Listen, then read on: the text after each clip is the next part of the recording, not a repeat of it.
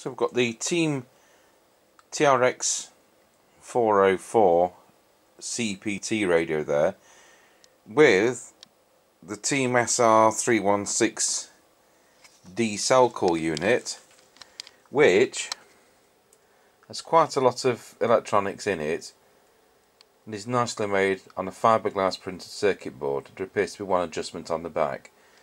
We don't have a manual for these so I'm leaving well alone.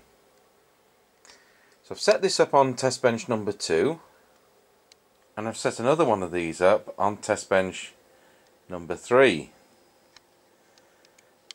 So, they're both on channel 20 and let's see if I can show you how these work. So you can select your code number with the up and down buttons here. It has 16 codes which means you could have up to 16 users. The radio is all set up. I'll just widen the zoom on this so you can see that. Now, if I press the call button on this,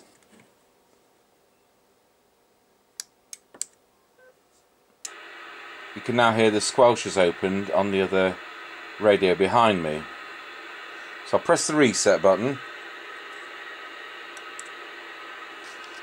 So the radio behind is woken up. We'll go put this back to standby and what I'll try and do is to hold the camcorder there and then press the call button on the other one again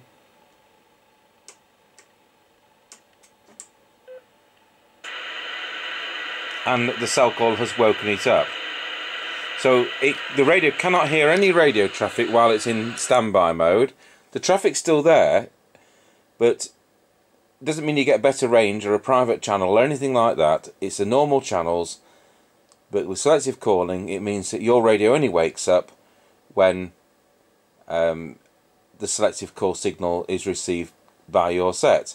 So I'll just put the camcorder back on the other one.